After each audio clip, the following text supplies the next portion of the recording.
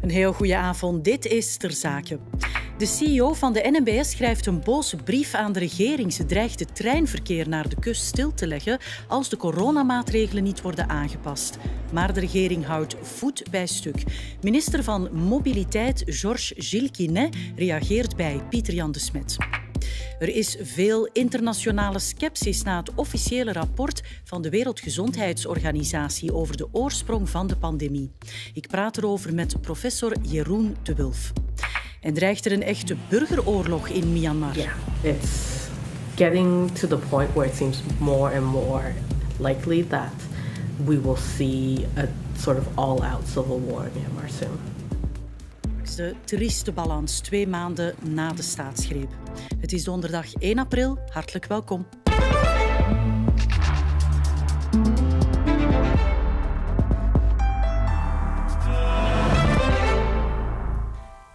We gaan eerst naar het Terkamerenbos dat de politie al sinds de vooravond probeert te ontruimen.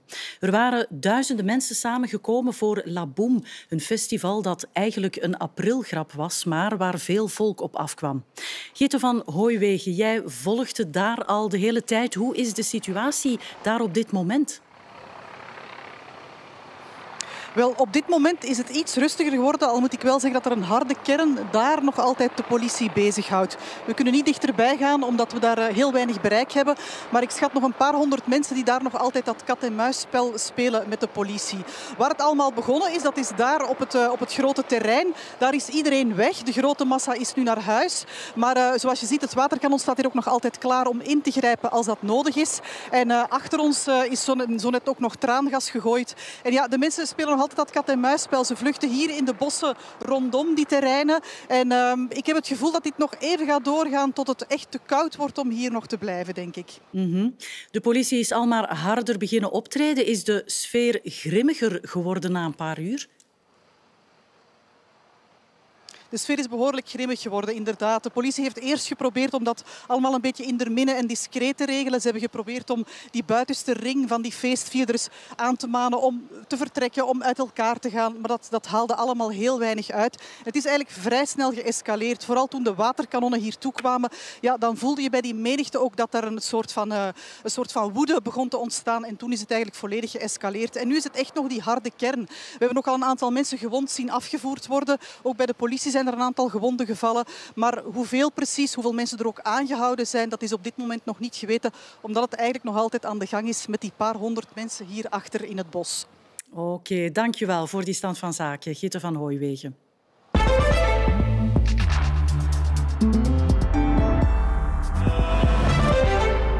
En over veel volk en corona. Daarover ging ook de spanning tussen de NMBS en de bevoegde minister van Mobiliteit, Georges Gilquinet. Die spanning is nog maar eens te snijden. CEO Sophie Dutortoir van de NMBS dreigde er zelfs mee het treinverkeer naar de kust stil te leggen als de regering de coronamaatregelen, die binnenkort op de trein naar de kust gelden, niet aanpast. Alles draait rond de richtlijn waarbij reizigers op drukke dagen alleen aan het raam mogen zitten. Maar de maakt zich sowieso zorgen over de soms onbeheersbare toestroom van reizigers. Deborah Votken.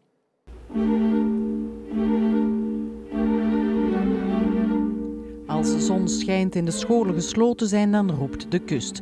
Dat was voor velen ook de afgelopen dagen niet anders, ondanks de hoge coronacijfers. Het deed Sophie Dutortoir, topvrouw van de NMBS, in haar pen kruipen. In een brief gericht aan de premier en de ministers van Binnenlandse Zaken en Mobiliteit spreekt ze haar bezorgdheid uit over de zogenoemde raamregel, waarbij reizigers vanaf de paasvakantie alleen aan het raam mogen zitten in treinen richting kust. Zoals herhaaldelijk benadrukt, zal de uitvoering van de laatste beslissingen van het overlegcomité de NMBS in een situatie brengen die zonder andere dringende en bindende maatregelen van de overheid onbeheersbaar dreigt te worden. De toestand dreigt ondanks alle inspanningen de openbare orde in gevaar te brengen, schrijft Dutortoir nog. Ofwel moet het aantal treinen opgeschaald worden, ofwel moet de overheid zelf het reizigersaantal inperken. Anders ziet ze maar één optie. In dat geval zou enkel de mogelijkheid overblijven om het spoorverkeer naar de bewuste bestemmingen stop te zetten, een ingreep die we tot elke prijs willen vermijden. Verleden week vernamen wij al iets heel bijzonders. Dat was de antivirale functie van de ramen van het NMBS. Dat is eigenlijk, wie had daaraan gedacht? Je weet dat toch wel. Daaraan, dat raam, dubbelglas, beste collega's, dubbelglas. En dus die virus, die, op, die stapt het af. Maar deze week, wat vernemen we? Haha, die antivirusgehalte van die ramen die is alleen maar efficiënt richting de kust en met de heenreis. Terugreis, ça va plus. Terugreis, antiviraal vermogen, nul. Meneer de minister, ik weet dat het 1 april is, hè? maar kom aan, een beetje serieus zijn. Minister van Mobiliteit Georges Gilkine werd erover aan de tand gevoeld vandaag in het parlement. De overrompeling op de treinen was te voorzien. Dit was geen verrassing. Los het op, luidt het. Het voorstel van de CEO, meneer de minister, om de snoodse treinverkeer stil te leggen, ja, dat is natuurlijk geen oplossing. Dat is een ramp. Dat duwt de mensen in de auto of dat laat heel veel mensen in de steek. En het moet mij van het hart, collega's, dat ik die brief een cynische demarche vind die van de mensen een speelbal maakt in een pingpongspel tussen de NMBS en de regering, waar ik feestelijk voor bedank, meneer de minister. Vandaag voor de tweede keer op twee maanden moet de CEO van de NMBS een brief schrijven met de noodkreet dat het zo niet verder kan. Het wantrouwen, meneer de minister, is blijkbaar torenhoog. En de tijd van stilzitten en niets doen, afwachten, die is voorbij. Ik vraag het u, doe alsjeblieft iets. Het is inderdaad niet de eerste keer dat de topvrouw van de NMBS en de regering botsen. Eerst was er de gratis treinpas die de regering Wilmes aan alle Belgen wilde aanbieden. En dan was er nog de sluiting van de 44 loketten, waarbij de minister tevergeefs vroeg om die alsnog open te houden. Ondertussen blijft de raamregel wel van kracht en wordt er voor een oplossing vooral naar de weerkaarten gekeken. Goedenavond, Pieter-Jan de Smet. Pieter-Jan, die raamregel, die fameuze regel, die maakt duidelijk veel los. Dat kan je wel zeggen, Kathleen. Veel mensen begrijpen de regel niet. En ook niet waarom je op weg naar de kust aan het, aan het raam moet gaan zitten, maar dat dat op terugweg niet nodig is. En we hebben dat nog eens gevraagd aan de minister van Mobiliteit deze namiddag. Hoe is die regel er gekomen en waarom was dat nu nodig?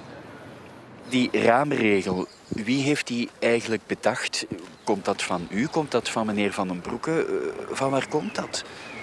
Ja, het is een discussie uh, eerst in de kern, dan in het overlegcomité op basis van een voorstel van de coronacommissariaat. Die uh, dacht dat het was beter minder drukte treinen te hebben. En is er dan nagedacht op dat moment, hoe gaan wij dat uitvoeren? Wat, wat gaat dat in praktijk geven? Ja, ik aanvaard deze regel. Ik, was, ik ben lid van de kern, eh, ook van het overlegcomité. Maar het was mijn eerste gedachte, hoe zullen we dat doen? En wij werken uh, vanaf uh, het begin met een MBS. En dat is niet gemakkelijk voor hen. En, dat, dat, dat weet ik, om dat te kunnen toepassen. Want niet alleen de NMBS begrijpt het niet goed, ook heel wat mensen vinden het moeilijk om te begrijpen waarom het virologisch nodig is om op weg naar zee aan het raam te gaan zitten, maar op, op terugweg moet dat dan niet. Wij zien dat mensen uh, komen in de voormiddag of het begin van de namiddag naar de kust, maar dat iedereen wil op hetzelfde moment terug. Tussen Om zes reden. en acht. En het is ook geen oplossing om mensen aan de kust te, te laten. Tweede uh, ding dat ik wil uh, zeggen, het is dat veel mensen uitstappen in, al in Brugge en Gent. En dan kom je met minder drukte trein terug naar Brussel. En, uh... en waarom is die regel nodig voor de treinen en geldt dat niet op uh, volle bussen en metro's? Omdat het zijn langere ritten dan uh, voor, voor, de bus of voor de, voor de tram. Ja, hij verdedigt dus de regel, meneer Schilkinen, maar blijft voor verwarring zorgen. Soms de communicatie. Eerst werden er gratis treintickets uitgedeeld. En nu wordt er eigenlijk ontmoedigd om de trein te nemen. Nu, meneer Gilles zei me van ja, kijk, uh, die treintickets, we hebben dat eigenlijk. Uh, ja, we hadden niet gedacht dat die pandemie zo lang zou duren. En dat is nu ook afgelopen, dat systeem. Nu moeten we dus keren, het treingebruik wat trachten te ontmoedigen. En daarvoor wordt er ook naar het weerbericht gekeken. Want vanmorgen zei vicepremier Vincent van Quickenborne dat het feit dat het bij het begin van de paasvakantie minder goed weer zal zijn, dat dat zal helpen uh, ja, om dat systeem van die raamregel rustig uit te proberen, omdat het minder druk zal zijn in de stations. We luisteren eens naar een reactie van uh, meneer Chilkine. Vincent heeft dat gezegd, dat, dat, dat wist ik niet. Maar ja, ik ga niet blij zijn met slechte weer.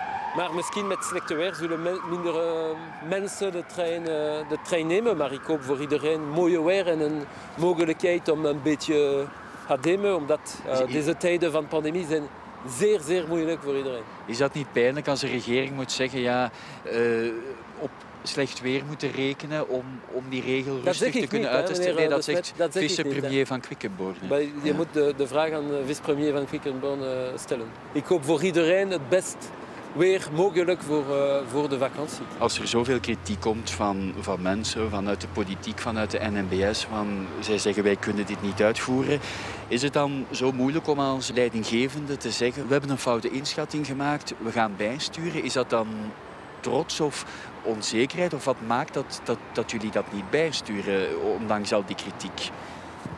Het is uh, niet plezierig zo'n zo, zo kritiek te, te krijgen, maar ik, ik, zie dat veel mensen beu, boos zijn met de situatie. Uh, als, als ze werken... u die regel dan niet bij? Ja, het is een be collectieve beslissing. Hè. Als jij dat collectief beslist, moet, moet je dat collectief veranderen. En uh, er is uh, geen akkoord om dat te, te, te veranderen. En zelf begrijp, persoonlijk zou het wel willen veranderen. Maar dat, dat is niet het, het probleem. Ik ben uh, loyaal. Het is een collectieve beslissing. Ik moet dat toepassen. Ja, Pieter Jan, duidelijk uh, een, een, moeilijke, een moeilijke vraag. Toch zegt de minister, ja, we gaan die maatregel niet wijzigen. De NMBS ja, blijft erbij, dit alles is onuitvoerbaar. Ja, dat is uh, de vraag. Nu, Kathleen, wat zal er gebeuren als het op een gegeven moment in de paasvakantie wel uh, mooi weer wordt en er toch veel mensen naar de stations trekken?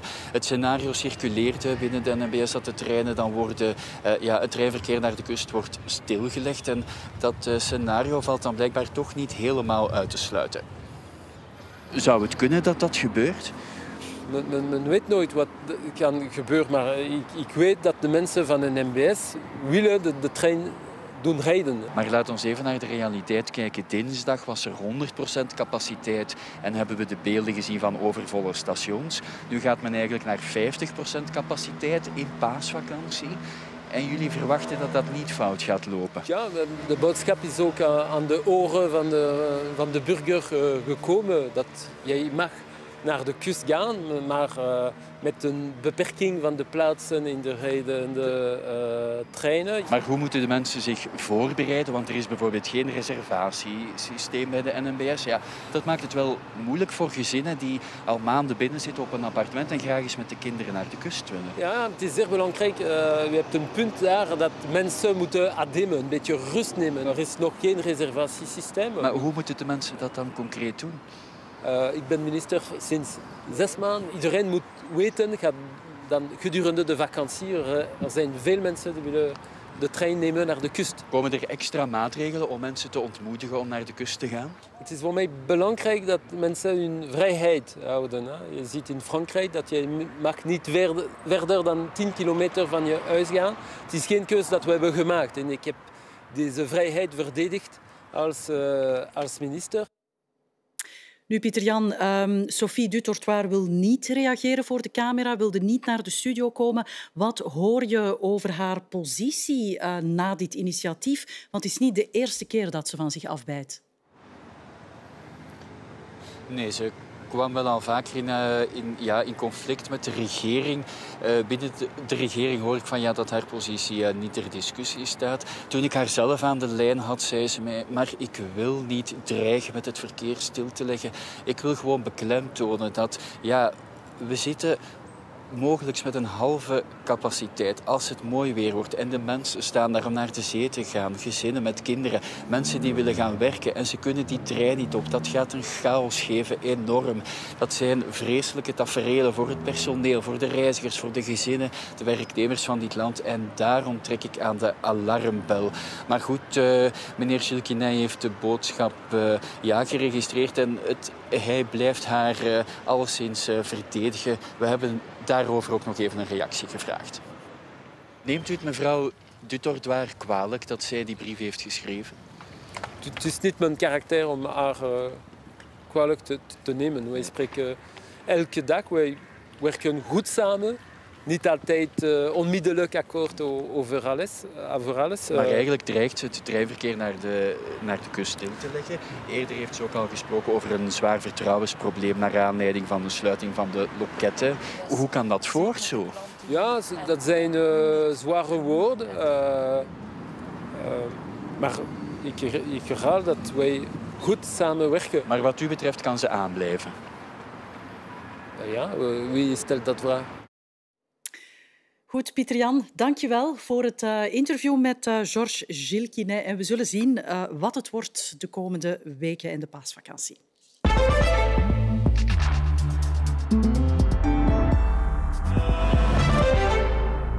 Het officiële rapport van de Wereldgezondheidsorganisatie over de oorsprong van de coronapandemie zorgt wereldwijd voor verdeeldheid.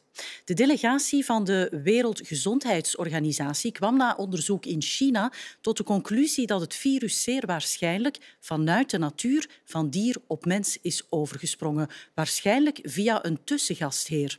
Maar niet alle overheden zien dat zo. En er zijn ook veel twijfels bij de betrouwbaarheid van de Chinese bronnen. Lauke van den Driessen. Dit zijn beelden van de missie begin dit jaar in Wuhan. 17 internationale WHO-experten en 17 Chinese. Op zoek naar de oorsprong van SARS-CoV-2. Deze week werd het rapport publiek gemaakt, maar de 120 pagina's waren amper verteerd of daar was al een joint statement van 13 landen, waaronder de VS en het Verenigd Koninkrijk, die het rapport in twijfel trekken. We uiten onze gezamenlijke bezorgdheid dat de internationale expertenstudie naar de bron van SARS-CoV-2 significant vertraagd werd en geen toegang had tot complete originele gegevens en stalen. China reageert prompt en beschuldigt de VS van politieke manipulatie. Marion Koopmans, de Nederlandse virologe die mee was in Wuhan, blijft er stoïcijns onder. Nou, dat was al vooraf bekend hoor, dat dat zou komen. Want het is al eh, eigenlijk al een jaar uh, zo dat in feite uh, China beschuldigd wordt van onvoldoende informatie. Um, dus dat, had, uh, dat lag al klaar ver voordat het rapport zichtbaar was. De wetenschappers onderzochten vier mogelijke ontstaansroutes. Directe transmissie van dier naar mens, bijvoorbeeld van vleermuis naar mens. Transmissie van dier naar mens via een tussengastheer, bijvoorbeeld van vleermuis naar schubdier naar mens.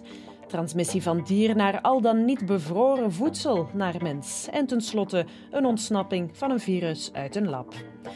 In Wuhan en omstreken onderzocht men 80.000 dierlijke stalen. Nergens vond men sporen van SARS-CoV-2. In vleermuizen zag men wel heel gelijkaardige coronavirussen. Maar het meest waarschijnlijke acht het team de hypothese met de tussengastheer. Waarom die tussenstap?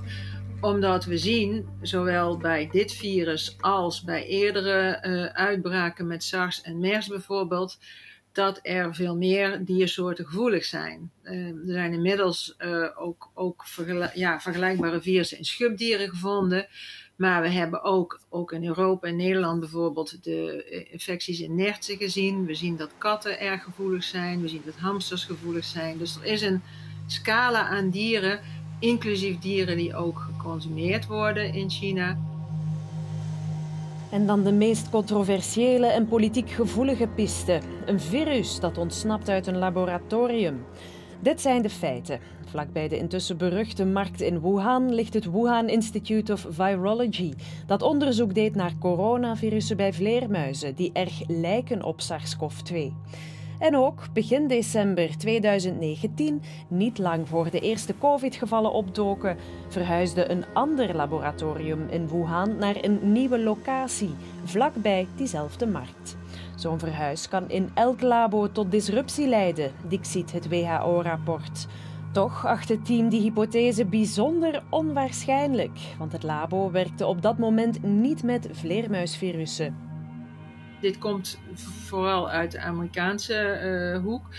Uh, daar is ook bij herhaling gezegd van geef dan aan wat jullie voor uh, indicatie menen te hebben, anders dan er was een lab op die plek. Uh, want dat is, dat, is wel, dat is wel een hele uh, grove maat. We hebben gekeken hoe hun faciliteiten zijn, wat hun onderzoeksprogramma's zijn, hoe zij de mensen trainen, hoe de biosecurity is, uh, hoe zij gezondheid bewaken, hoe zij hun mensen hebben getest. En daaruit hebben wij geen enkele aanwijzing kunnen vinden de labo's melden dat bij niemand van het personeel antistoffen werden aangetroffen en dat de verhuis niet met problemen gepaard ging. Daar moeten we de Chinezen een beetje op hun woord geloven dan. Um, daar moet je de wetenschappers op hun woord geloven. En uh, daarvan zeggen wij dus, ja, als dat iets is waarvan je zegt, uh, dat willen we niet, dan heb je een heel ander mechanisme nodig. Dan moet je een inspectie gaan doen of een audit. In elk geval, infectieziektes die overspringen van dier op mens zijn allesbehalve zeldzaam of vreemd. Virussen zoals SARS en MERS, maar ook ebola, vogelgriep, varkensgriep en aids kwamen zo bij de mens terecht. Dat is iets wat inderdaad vaker voorkomt en waarvan we ook denken dat het steeds vaker gaat voorkomen, omdat de contacten tussen mens en dier intensiever worden en ook omdat als er iets overspringt, de mogelijkheden voor verspreiding steeds uh, makkelijker worden. Hè? Met onze, nou ja, ons reisverkeer en de bevolkingsdichtheid en dat soort zaken. Dus dat is echt niet iets wat uh, uh, specifiek voor China is. Dit kan echt overal gebeuren. En wat belangrijk is, is dat wij gaan leren van dit soort zaken. Ja, en bij ons professor Jeroen de Wulf, uh, veterinair epidemioloog. Goedenavond, uh, professor. Ik pik meteen in op het einde dat we hoorden, het gebeurt wel vaker dat zo'n virus overspringt van dier naar mens. Daar heb je ook helemaal niet het scenario van het labo voor nodig en de ontsnapping daaruit. Nee, absoluut niet. Het is dus een algemeen gekend fenomeen dat ziektes van dieren naar mensen kunnen overgedragen worden. Er wordt eigenlijk een grofweg geschat dat 70% van de infectieziektes die we bij de mens kennen, dat die in origine van bij dieren komen. Dus dat is een fenomeen dat al sedert lang bestaat en dat, eh, dat zich regelmatig herhaalt. Maar nu is het natuurlijk op een heel spectaculaire wijze gebeurd, maar het gebeurt veel vaker, maar dan met minder mhm. spectaculaire gevolgen. Ja, nu uh, tegelijk zie je dat um, heel die theorie over uh, de ontsnapping uit het laboratorium enorm tot de verbeelding spreekt. Er is dan ook het scenario van het laboratorium dat een verhuis heeft gehad, ook al heeft het niks te maken uh, met dat onderzoek. Um, ja, hoe verklaart u dat, dat die theorie toch op die manier naar voren geschoven blijft worden? Ja, ik, ik, kan maar gissen dat men een beetje op zoek is naar een spectaculaire verklaring of dat, dat men hoopt om daar ergens een of ander spectaculair verhaal. Maar het is een, net zoals eh, in de reportage werd gezegd, het is een zeer onwaarschijnlijk scenario. En het scenario waarvan het overgedragen wordt van dieren naar mensen, is een zeer waarschijnlijk scenario. is iets wat we mhm. al vaak hebben zien gebeuren, dat, dat in detail is beschreven, die mechanismen. Uh, dus in die zin is dat zeer waarschijnlijk. En de ontsnapping uit het, uit het labo zeer onwaarschijnlijk. Maar ja, soms uh, hebben mensen ook graag die onwaarschijnlijk. Want ik leg het u voor, omdat heel onlangs de gerenommeerde viroloog uit de Verenigde Staten, Robert Redfield, eh, gewezen CDC-chef, dat die eigenlijk wel um, voor het publiek verklaarde van ja, ik geloof er wel degelijk in dat het kon. Ja, ik kan daar niet Zoveel veel over zeggen. Ik weet, ik weet niet goed wat, wat, zijn argumentatie daarvoor is om dat te zeggen. Maar als je het rapport van de WHO erop nakijkt, ja, dan stelt men toch en, en, en op basis van een, van een groot deel gegevens dat dat weinig waarschijnlijk is en, en dat het andere, de andere piste veel waarschijnlijker is. Oké. Ehm, u zit ook, uh, laten we het, uh, het, het, verhaal wat breder maken, in de taskforce COVID bij dieren. U volgt daar ook hè, van nabij de overdracht van mens naar dier op. Wat zijn daar de meest recente vaststellingen? Ja, wel, dus sinds het begin van de uitbraak uh, zijn wij meteen in actie geschoten, omdat we weten dat coronavirussen ook bij dieren voorkomen. Mhm. Dat is een algemeen fenomeen. Dus we zijn meteen snel gaan kijken naar dit specifieke virus. Kan het overgedragen worden naar dieren? Hebben we relatief snel gezien dat dat kan naar bijvoorbeeld gezelschapsdieren, honden en katten. Maar zagen we ook meteen wel dat dat eigenlijk een doodlopende straat is. Dus die dieren kunnen door de mens geïnfecteerd worden, maar vervolgens loopt die infectie dood bij die dieren. Die gaan dit niet verder terug gaan verspreiden. In beperkte mate soms bij katten naar andere katten, maar niet meer terug naar de mens. Dus wat dat betreft hadden we daar redelijk snel een geruststellende eh, informatie. Wat we nu meer recent horen uit het Verenigd Koninkrijk, en daar is een publicatie over verschenen in, in preprinten, eh, waar men zegt dat die nieuwe Britse variant misschien wel wat meer klinische symptomen bij de dieren zou veroorzaken. En, dan specifiek... en dat betekent? Wel dat de uh, ontsteking van de hartspieren, wat men ook bij mensen soms ziet nadat ze geïnfecteerd zijn met dit virus, zagen we in het verleden niet bij dieren, maar met die Britse variant zouden er aanwijzingen zijn, maar ik spreek in voorwaardelijke wijze, want het is op basis van een beperkt aantal gegevens, dat honden en katten misschien iets gevoeliger zouden zijn niet in termen van het feit dat ze meer gaan uitscheiden, maar wel in termen van het feit dat ze wat meer klinische symptomen hebben, dat ze er wat mhm. zieker zouden van worden. Ja, dus en dat, heeft... ook te maken nu met die Britse variant, die ook besmettelijker is en dus ook voor dieren diezelfde gevolgen heeft. Wel, die blijkt iets beter aan te slaan hè, bij die honden en katten. Dus al die varianten, dat hebben we ook gezien bij de mens, die hebben een beetje een ander mechanisme. Die gaan een beetje anders met het lichaam interageren. En dat is bij dieren net zo. Ja, maar voor alle duidelijkheid, er is geen enkel probleem Um, ik mag straks mijn kat ja, uh, op absoluut. Wel, het enige dat je moet voorzichtig zijn als u zelf corona hebt als mens. Hè, het is zo dat de mensen zijn die de dieren infecteren. Hè. Dus als, mhm. je, als je zelf uh, in een periode zei dat je positief bent, dat je positieve test gehad hebt, dat is misschien het moment om, een beetje voorzichtig te, zijn en afstand te houden van je gezelschapsdier. Oké. Okay. Uh, Ten slotte ook nog uh, was er de bezorgdheid uh, die we al vrij vroeg in de pandemie um, leerden kennen over nertsen als verspreider van het virus. We weten nog dat in Denemarken hele kwekerijen eigenlijk zijn vernietigd. Hoe zit dat nog? Wel, dat is de enigste diersoort tot op heden eh, van de commercieel gehouden dieren, laat ik maar zeggen, waarvan dat we weten dat het virus dat die dieren kunnen geïnfecteerd worden en dat het virus daarin ook massaal zich gaat verspreiden. Dus die mm. nertsen die konden het virus ook massaal uitscheiden en die konden wel terug andere mensen gaan infecteren. En dat is natuurlijk een bijzonder eh, gevaarlijke situatie, want we weten ook dat als virussen een diersoortbarrière overschrijden, van mens naar dier en terug van dier naar mens, dan heb je een vergrote kans op mutaties. Mm Dus dat is eigenlijk iets wat we, wat we liever niet hebben. Hè. Eh, vandaar ook dat men daar in Denemarken zeer drastisch ingegrepen heeft. Maar wij hebben ook redelijk snel in België geadviseerd om in eerste instantie die nartsenhouderijen goed op te volgen. En die zijn ondertussen ook allemaal gestopt. Hè. Dus ook de nartsenhouderij in België is volledig uh, stilgelegd. Oké. Okay. Uh, eh, professor De Wulf, dank u wel voor uw toelichting. Graag gedaan.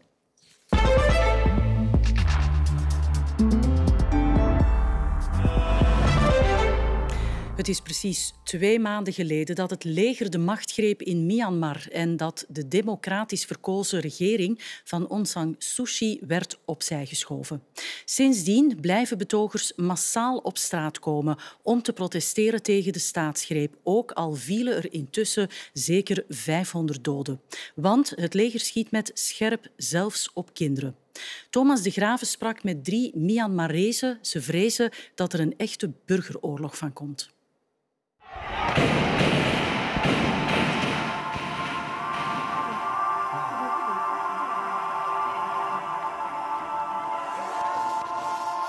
The killings have been indiscriminate. We have seen a lot of children, yeah, children as young as seven being shot um, and killed. You know, the other day, a one year old baby lost an eye um, after being hit by a rubber bullet. The, um, they call it Generation Z or Generation Z. Well, they're urban kids, uh, quite well educated and uh, quite affluent. They're now on the streets, you know, protesting and getting killed. It's getting to the point where it seems more and more likely that we will see a sort of all out civil war.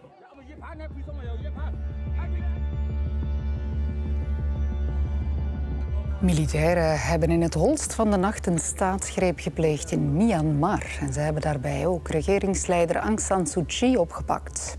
In november zijn er verkiezingen geweest in Myanmar en volgens het leger is daarbij massaal gefraudeerd. Exact twee maanden geleden werd Myanmar opnieuw een militaire dictatuur. De legerleiding weigerde te aanvaarden dat de pro-democratische partij van premier Aung San Suu Kyi de verkiezingen overweldigend had gewonnen. I knew the coup was coming since October. Lots of people missed that.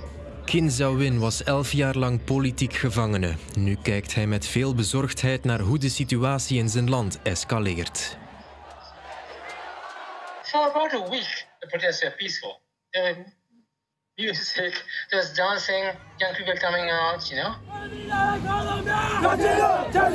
And suddenly, um, they were shooting, and it became uglier and nastier. People are outraged by the violence, but it's not unexpected.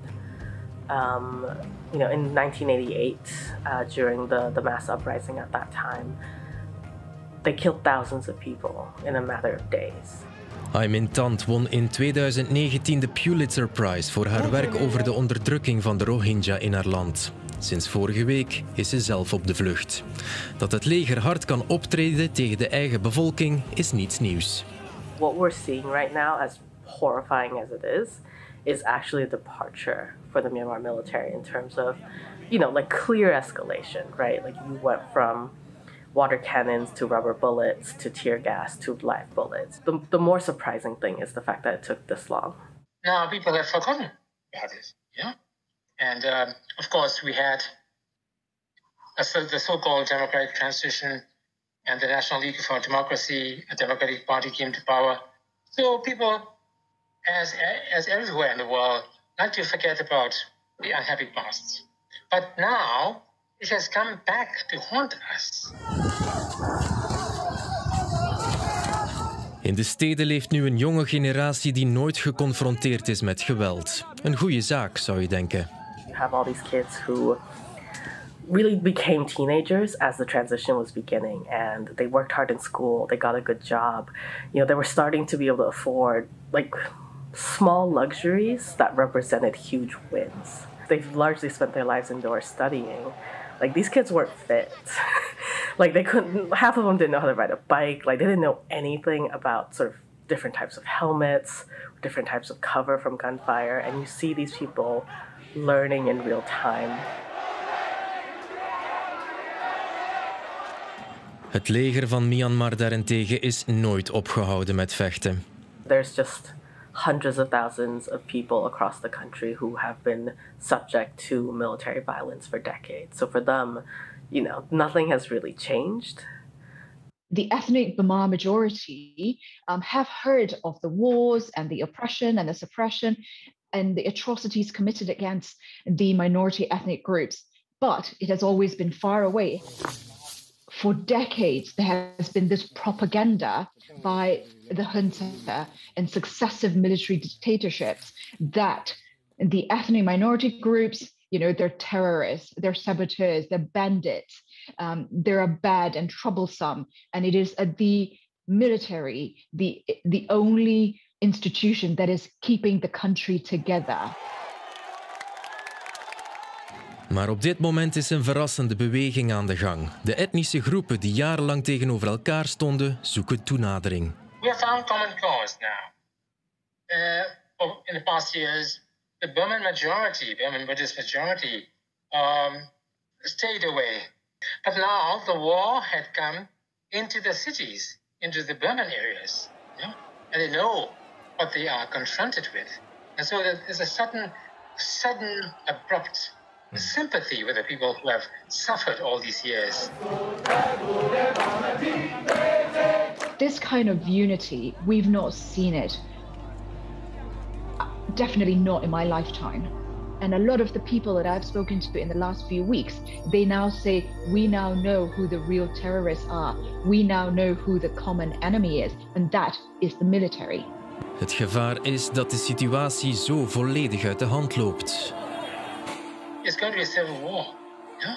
Um, we don't have to invite troops from the UN or from the West to come and help us because we have been under arms in Myanmar for 50, 60 years.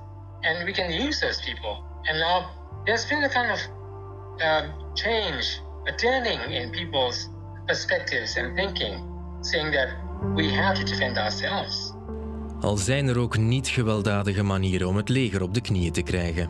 Um, I think it's worth remembering that there are multiple ways to show opposition and protest, large scale protests that we've seen in big cities at the beginning, you know, in the early parts of February, is just one way of showing it.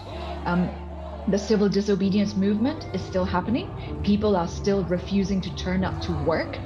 A big part of the movement is uh, making starving the military of economic resources. So this is getting people to not pay taxes, to get tax collectors to stop complying, um, to ensure that private banks stop functioning and that workers at public banks stop going to their jobs. Um, and it's also about making sure that the military can't enforce its rule and really can't complete the coup. En daarmee hebt u heel ter zake gehad. Nog een heel fijne avond met de afspraak.